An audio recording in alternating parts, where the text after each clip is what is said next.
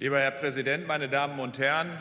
Seit Menschengedenken wird kulturübergreifend nicht daran gezweifelt, dass Wasser ein absolut bedeutendes Element ist. Es war der griechische Philosoph Thales von Milet, ich habe das hier schon mal gesagt, der Wasser als den Ursprung aller Dinge bezeichnet hat. Und Herr Deppe, Sie haben da ja eben zumindest an dieser Stelle noch mal am Anfang Ihrer Rede auch darauf hingewiesen und auch die Hoffnung genährt im ersten Augenblick, dass wir uns da einig werden können. Ich komme da aber gleich noch mal darauf zurück. Die Hoffnung wurde leider wieder einmal enttäuscht.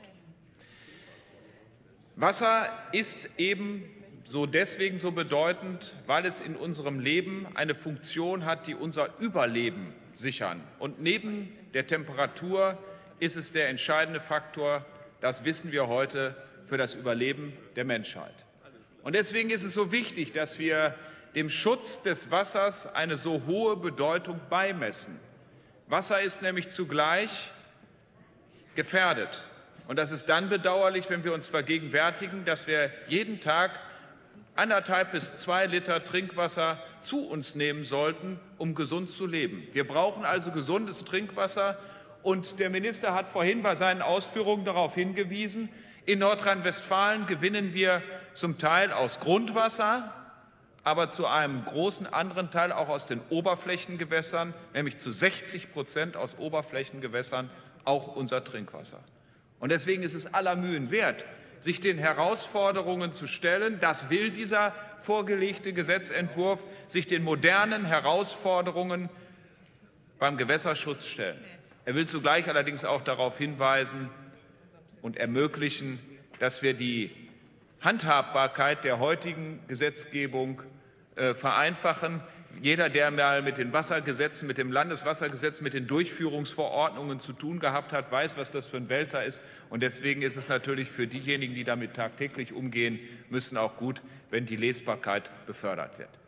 Ich will aber ausdrücklich noch mal ein paar Stichworte nennen. Wir werden ja in den nächsten Wochen und Monaten uns dann in den Fachberatungen auch damit auseinandersetzen.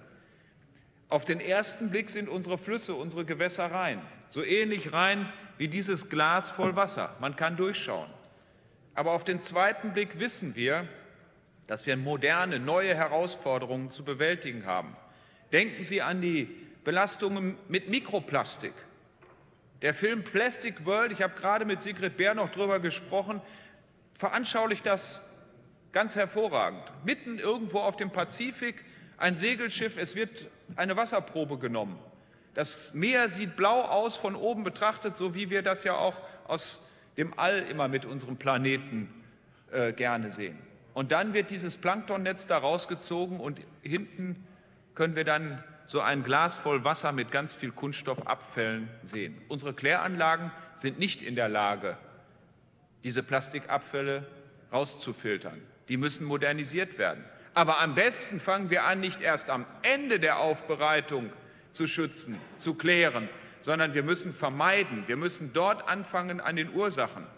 Und mir erschließt sich nicht, warum in vielen Kosmetika, in vielen Reinigungs- und Hygieneartikeln heute Plastikpartikel als Scheuermittel drin sein müssen.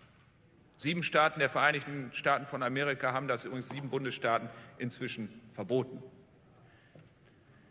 Zweiter, zweite große Herausforderung, die Medikamentenbelastung. Übrigens wenn wir allein an die 600 Tonnen pro Jahr an Antibiotika denken, die in unserem Wasser landen, die wir dann auch rausfiltern müssen, dann müssen wir uns auch vergegenwärtigen, dass diese 600 Tonnen Antibiotika aus der Humanmedizin noch um das Dreifache übertroffen werden bei den Einführungen, Einträgen von Antibiose aus der industrialisierten Landwirtschaft. Annähernd 1800 Tonnen pro Jahr.